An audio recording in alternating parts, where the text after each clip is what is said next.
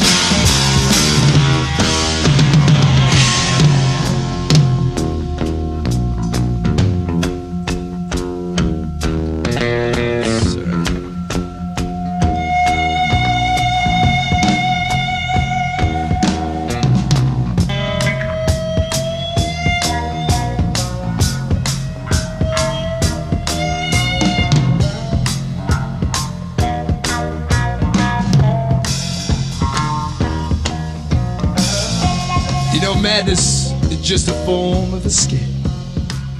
Comes in nights when you gotta grow pain. So you sit around and you listen to my jams, taking only what you can.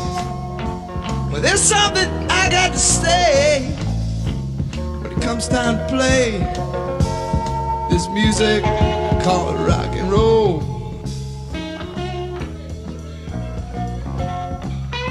just sit doing this.